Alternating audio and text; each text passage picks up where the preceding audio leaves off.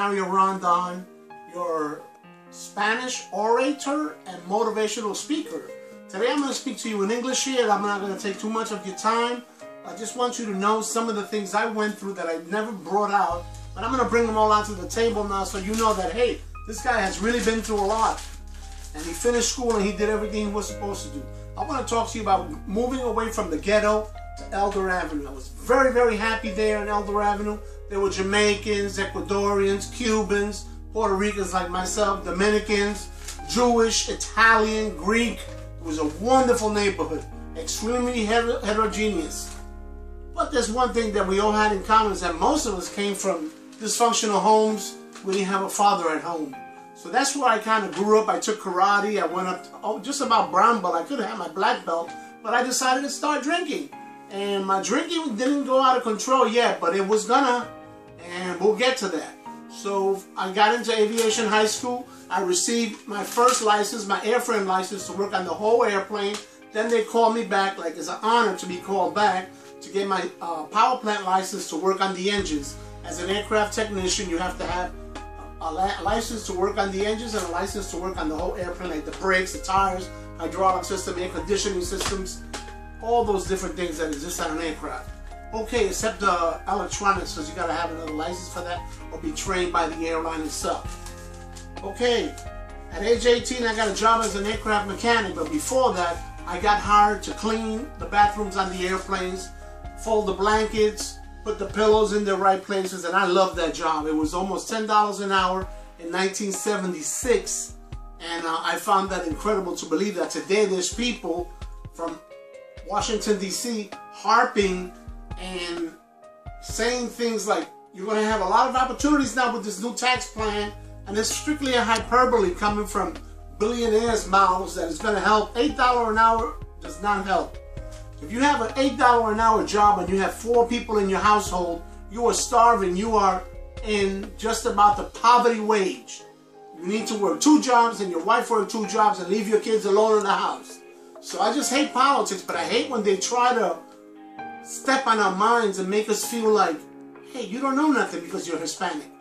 That's not true. I got licenses to work on aircraft. I went back to college. I took 14 hours or 15 hours, worked full time, and still graduated with honors. And I got my degree in public speaking, like I said before. I transferred to Puerto Rico for a while while working for American. I didn't particularly care for it. All I did was drink, drink, drink, drink, drink, drink. Got recalled to New York. I loved it. Then I got recalled. I put a transfer to Texas. And in Texas, we got a new home. And I took my sons down there, my two boys, and my youngest boy was uh, born in New York City. And I have my three sons, and I love them, and they're all successful. My oldest one is extremely successful. He has a very successful wife. And my other two boys are doing fantastic too. They're in the aircraft uh, maintenance just like I was okay? My youngest, like I said, my youngest boy was born there and I separated. Then I met a woman. I started speaking to a young lady in Colombia and uh, I married her. But what happened was that she did not like living in the house with my my two sons, my three sons actually. And she says, I'm, I'm, i have to move. So she, we got separated for five years. She went to Miami to stay with her sister. And I stayed in Texas, and the money came from settling for my mother's case for the, her being killed by two trucks.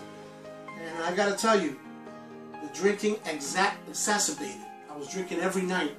And every other night I would look at my car, my new car with another dent, and I didn't know where it was coming from, with the other dent. And I said to myself, man, I'm getting really badly into drinking, but I can control it, I can control it. I didn't control nothing. I got three DWIs the same year. They sent me to a therapeutic camp. It was called Safe P, Substance Abuse Felony Punishment. So it had nothing to do with getting better. And I fell on my head. I had a seizure once because they cut all my medicines. I had some benzodiazepines, which I was taking. And if you know anything about medicine, a benzodiazepine, you're supposed to be weaned out. But they told me, you're not in the hospital. We're not here to help you. We're here to punish you. So I lost about 85 pounds in two months and because of the lack of nutrition, we only had yield, we only had a yeast. I mean, it was horrible. It was horrible what they gave us to eat.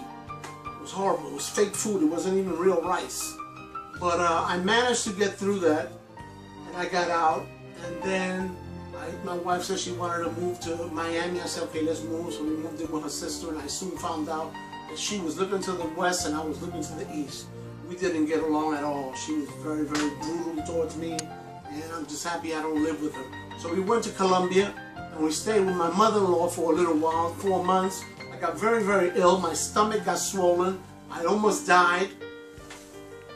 She said I had colitis in Colombia, and I thought she was a genius. I said, how can somebody just look at your tongue and say, hey, this is what you got. This is your diagnosis based on my experience. But when I got to Palermo Hospital, Palmetto Hospital here in Hialeah, what happened was that my stomach blew up and I almost died because my gallbladder was about to burst. I had like 28 calcium deposit little uh, little balls in there. So the doctor told me, you're not going anywhere.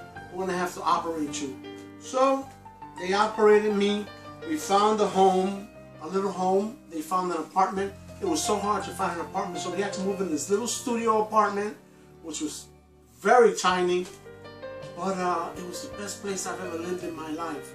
I live in a place, the house is owned by Doña Madeline and Javier, and I love them both. And uh, I just care a lot about them. They've helped me tremendously. They've really helped. And uh, my dream here was to speak in a show on TV. Madeline Janos is the name of the show. Tell it, díselo, cuénteselo a Madeline, which means tell Madeline about your new business.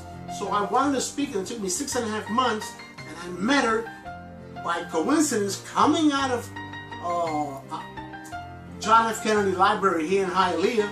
And the, the, gentleman that takes the filming, that does the filming, he said, hey, she's over there, go speak to her. So I spoke to her, she says, he had your paperwork, but he lost it. I always wanted to tape you so you come out on TV. I came out on television, people couldn't believe it was me. I couldn't believe it was me. But I know that I have the talent for speaking, but talent alone is not enough. You must bust your hump. You must work hard. You must cry. You will fall. You will get up. People will close the door on you. And I'm not hyperbolizing this at all. That's what will happen to you when you try to succeed. If success was easy, everyone will be successful. Everyone will not be dependent on the check from the man and making the man rich. What I'm saying, the man, the company, you're making them rich. They're paying you $8 an hour and they're making 20 million a year in their business. And they deserve it. That was their dream. But let's not talk about $8 an hour like they're talking in the White House saying that these jobs are going to be fantastic. They're not going to be fantastic. It's going to be tax loops for the rich. They can keep on getting richer and richer and richer. And we get poorer and poorer and poorer. That's one thing I'm not going to allow. I'm going to continue to strive to work hard. Now my dream is to speak in Naples, Florida, with some of Doña Madeline's uh, relatives and some business people. And I know I'm going to do the best I can to, to give them a, a feeling and an emotion that they can hate. There's an impulse coming out of me, Mario. I don't know where it is, but you've changed my life. I really want to succeed. I want to make it in life. And make it in school. Our youth are dropping out so fast from school. The Hispanics are the worst as far as college blacks are doing better than us, and then the whites. And most of the whites, they come from functional homes in the United States I'm talking about, not other places, because I don't know. But most of the whites, they have a mother and a father that have middle income, middle income, they're doing a whole lot better than us Hispanics. But I'm going to leave you with that. I, uh, my tapes are going to have music pretty soon, so I ask you to just suggest, put suggest, you know, put a, a you know, press the little bell, and it'll tell you that all my tapes will go to you. And I'm going to have my web page on Thursday and my business cards again to hand out. And any one of you that's out there go to my uh, YouTube page and get my number. My YouTube is Mario Rondon, Resume 2017. My phone number is 817-323-4830. You may call me if you want me to speak to you. I saw somebody in church when we came from prayer group today, me and my wife, and uh, he says, what do you do? Are you retired? I said, yeah, blah, blah, blah, blah, blah. I said, I do motivational speaking now. And uh, he says, well, I need you to do that for the, some of the adults and some of the adolescents here in the church. So I'm going to be speaking there pretty soon. So my biggest dream is to speak in Naples, speak in front of Doña Toya and all those people up there that are so wonderful. I love them. I love them. I don't even know them that well, and yet I love them because they love me. And I want to give up myself to them, and I give myself to you. Thank you very much for listening again. I'm sorry that I rushed, I don't want to take too much of your time. We'll meet again. Thank you.